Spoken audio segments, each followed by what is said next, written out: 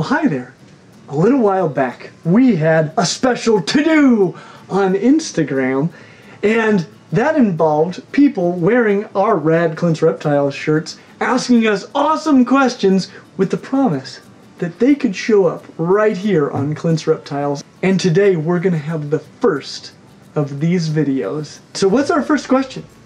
First question from KN Corcoran 81 Oh, KN Corcoran 81, you are the best. Got to hold an Argent, Argentine Tegu for the first time last weekend and wearing my Clint's Reptiles Gus Gus shirt, no less. So here's my question, Clint. What do you think is the most interesting trait that has evolved over time in reptiles? Wow. That is a good question, and I gotta tell you, I loved that picture when I saw it. The picture of you with the Gus Gus and Penny shirt on, actually holding an Argentine black and white tegu. One of the best pictures I've ever seen. But your question is also fantastic, and that is a hard one because there are so many cool attributes that have evolved in reptiles. But I can tell you the one that puts the biggest smile on my face. It's actually a smile almost as big as the smile that is permanently on the face of this organism, and that is the neck of the Mata Mata turtle. To explain to you why I think this is so cool, I gotta begin with fish. Fish, as it turns out, are difficult to grab with your face. Little known fact. And a large percentage of all of the organisms on Earth that eat fish manage to get fish into their face using something called suction feeding, which is just essentially, generally speaking, they've got kind of a, a small mouth that they can suddenly make big, and that creates a vacuum and sucks all this water in, and they end up with the fish inside of their mouth, and it's awesome. But when vertebrate animals left the water, what happened on land was that suction feeding didn't work anymore. Uh, when you open your mouth really wide on land, nothing gets sucked in because air is nowhere near as viscous as water. As a result, suction feeding now just sucks.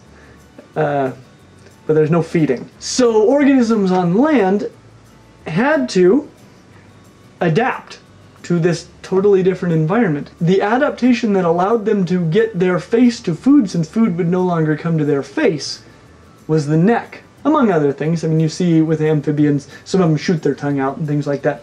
But the most successful adaptation that allowed land organisms to get their face to food since food wouldn't come to their face was the neck.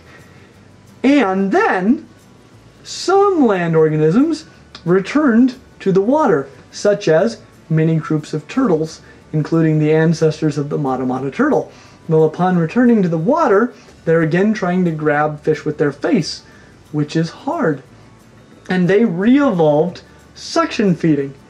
But the structure that Mata Mata turtles use to do suction feeding is their neck, which they expand really quickly and it sucks fish in. And this pleases me because they use the structure that evolved because suction feeding didn't work anymore to do suction feeding. And in my personal opinion, that's the most awesome reptile adaptation of them all. Lav Trekken says, Well, hi there. It's already started to feel like fall here in Alaska. Luckily, I've got my stinkin' rad new hoodie from Clint's Reptiles. Our question for Clint What are some good tips on emergency supplies for your reptiles? We all hope that natural disasters or accidents never happen. But what do you keep on hand? Thanks for sharing, and we hope to see you real soon. That hoodie looks great on you. Um, what a great question, and I just now realized that you're in Alaska, and that's a big deal. Because in Alaska, the thing I'd be the most worried about would be losing power. Now, you potentially, I don't know exactly where you live in Alaska, but you could potentially lose power for a long time, and I've heard rumors that it gets pretty dang cold in Alaska. And so if I lived in Alaska, an emergency supply I would have would be an electric generator of some sort, maybe a, a gas generator that I could use so that it doesn't get too cold where my reptiles are and they freeze.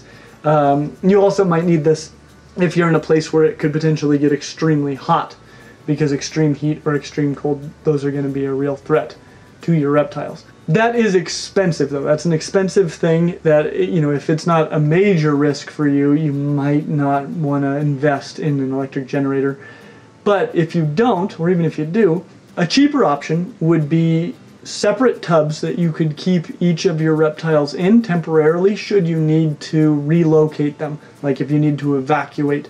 Even if your house is just getting really cold or really hot and you need to take them to a friend's house, or even just in your car or to a hotel, somewhere where they can get out of that extreme heat or extreme cold. Because those are going to be the biggest short term threats to your reptile should there be some sort of a disaster, barring a flood or something that floods your reptile room. So be prepared either to keep the temperatures acceptable in that room or to evacuate those reptiles if need be. That would be my biggest tip. Great question. This comment comes from Full Force Virus. Razzie is mad and trying to eat the couch because I got a shirt with the wrong kind of giant lizard. My question for Clint's Reptiles is what are your favorite things that aren't technically designed for reptiles but come in handy for them regardless? Mine are Vaseline and cat litter boxes. The litter boxes are for this dude's bath because he knows how to unplug the drain. That's a really great question because I am, especially uh, my wife and I are really good at DIY sort of things. And so there are some things that we use a lot with our reptiles. Some of my favorites would be things like dollar store bowls from the dollar store. You know, they, they sell all kinds of great pet bowls there that maybe some of them aren't designed for pets, but doesn't mean they don't work. I also really like Rubbermaid tubs both that we use in snake racks. Some reptiles, you know, outside of snake racks, even do well in tubs. And uh, I really like the Rubbermaid All Access tubs. We'll include links to all of these things down in the description. But these All Access tubs make really great crested gecko enclosures. Just, they're awesome. I also like hemostats. Hemostats are actually made for closing off blood vessels during surgery and battlefield operations. But they do make fantastic feeding tongs when you're feeding snakes, and I don't like getting my hands too close to feeding snakes, so hemostats are great. And I have an honorable mention, which are going to be heat bulbs for baby chickens. I say this as an honorable mention only because technically, as you may be aware, chickens are reptiles, so it's not something that's not meant for reptiles, just strange avian reptiles. Good question. I loved it. All right. So this question comes from the Drop Podcast 40K. And she says, This is our Beardy Gorn. We'd like to get a silky female Beardy, and we're wondering if it would be possible to breed her to a normal Beardy. All right. Gorn is beautiful, by the way. Uh, and that is a great and really important question. Many of you may not know what a silky bearded dragon is, but a silky bearded dragon is homozygous for the leatherback allele.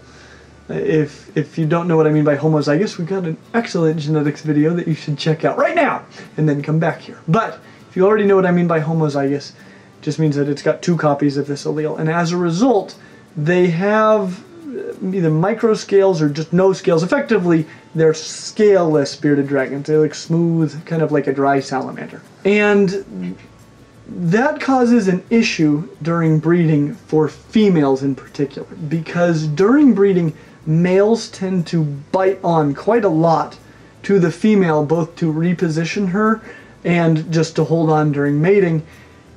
And that's normally fine because they've got scale armor that protects them for the most part from the very sharp teeth that bearded dragons have. However, for silkies, the female tends to get really, really injured by the male during breeding, and so I personally would not recommend breeding a silky female at all. Uh, if you do, what you can expect is 100% leatherback bearded dragons coming from a cross between a silky and a normal bearded dragon. But if you're going to do this, I would recommend that the male be the silky and not the female. Uh, leatherbacks, alternatively, seem to do just fine during mating because they've still got scales. They're much smoother, they're smaller scales, but they seem to be protected. And that's actually how you get silkbacks is you either breed a leatherback female to a silky male or to a leatherback male. This comes from Pawa's Pets. I received my Well Hi There shirt from Clint's Reptiles. It's absolutely adorable and it feels good to support someone who so clearly cares about the animals he's trying to share information about. If you haven't checked out Clint's YouTube channel, please go visit. That's awesome. No question, but what an awesome uh, recommendation to your friends. I really appreciate you sharing that with us. Hillary Austin RDH says, Will you do a video on Colombian tegus, Clint's Reptiles? Oh, that's a great question. We probably will. Uh, really, the hardest thing is just we'll, we'll try to find an adult that is nice enough that we can keep it right here so you can see what an adult is like. That is a bit of a challenge though because temperamentally they're not quite as nice as the Argentine tegus. We will cover them. They can be great. It's just not as easy as having an Argentine tegu. Or arguably as cool. This comes from Dragon. For those interested in reptiles and aren't already subscribed to Clint's YouTube channel, I urge you to do so. It's a source of information I trust, and Clint obviously enjoys providing it. Bought a shirt and a hoodie, and they are both some of my new favorites. I'm joined by one of my reptile babies, Bentley. My question for Clint is this We all love taking care of our reptile buddies, but sometimes we're a little overeager and soon realize we've accidentally been overfeeding. Once this happens, how do we go about getting our reptile to a healthier weight? Lizards, in particular, as my leopard gecko Mango, is getting a bit tubby, and I've read so much conflicting information online. That is a great question because that is something that can absolutely happen if you're taking really great care of your reptiles because you do want to make sure they're getting enough to eat and honestly feeding a reptile is one of the most fun things about keeping a pet reptile but you can get carried away or they can get carried away with eating and so this is this is a real problem people run into. Uh, these recommendations may seem obvious but they really are the best ways to get their weight down. For reptiles like bearded dragons especially but even leopard geckos those animals can eat a variety of different foods. And so look into foods that are lower in calories than the ones they've been eating. That would be one option. And so feed them a lower calorie diet. Another option, if they don't eat different foods, would be just to feed them smaller portions of their foods. And then also make sure that they've got adequate space to get exercise in their enclosures. Um, really that's that's going to be the key and if you do this and you just keep it up you know eventually their their weight's going to start to come down you can get them to a really ideal weight and figure out the perfect balance to keep them there what a great question This comes from Hoggy Charles and Human. Woohoo! My Clint's Reptile shirt came in, along with my notebook I ordered from Redbubble with my hognose design. So, my question for Clint's Reptiles is other than Gus Gus, which of your scaly companions would you say you're most attached to? that is a great question because you know i love gus gus. And i actually spent a long time thinking about which one is next in line that i love the most. And the answer has got to be this girl. This is amber. She's my central american boa and i just love her. There's just something so special about a big snake hug. And if I could only keep one snake, it'd have to be her. Another comment from the Drop Podcast 40K. This is our baby boa Scarlet and our cinnamon ball python Ellie. We don't have a question about them, but wanted to shout it out with our noodle shirt that we love, love, love your channel, Nate and Teresa. Nate and Teresa, you guys are awesome. Uh, I love the shirts. I love your boa. I love your ball python. You guys are great. Thank you for the shout out to us. Here's a shout out back to you. You guys rock. It has been so much fun getting to see you guys, getting to hear from you guys, and getting to answer your awesome questions. We want to do this again. And, and you've probably noticed merch is currently available. So check that out. We got a link down in the description if you haven't seen that. We want to see you in our shirts. We want to see you on Instagram. We want to see your questions. And we want to see you in the next one of these question and answer videos. As always, like and subscribe, click the little bell so that you get a notification when you show up in our video, and we hope to see you real soon. Literally. Of course, rad Clint's Reptile shirts. Today we're going to answer several of the. So let's see. How do I do? What did I say? Uh, they say, got to hold in. Okay, I gotta say this. I'm not good at this. Someone else say. Reptile emoji. Heart emoji. I almost clapped after you read it. Yay! That's the most awesome reptile adaptation of them all. You're like gonna cry with excitement. It's one of my favorite stories ever. Well, for starters, looking at your picture, your pet's grumpiness may have nothing to do with the shirt you're wearing. Oh, Shade. Insult them right off the start. no.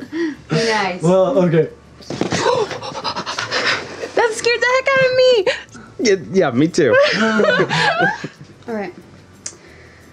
Hey, just a second. What? Just a second. We're getting. What the? Big yawn. Yawn? I hope so. Aww. oh, it looks like a yawn. So cute. She hasn't eaten for a while. She's so like, I was. I wasn't worried about the worst. Okay, good. I was like, you were gonna be smelling so bad. Would the worst have been him, uh, her regurgitating or biting you in the face? Regurgitating. Well, I would prefer to be regurgitated on and bit in the face, but I wasn't concerned that that was going to happen.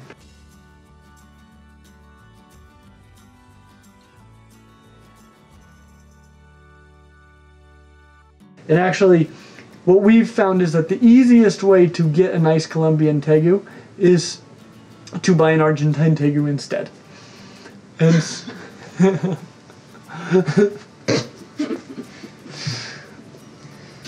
Good. yeah, thank you. Good question though. We will cover them.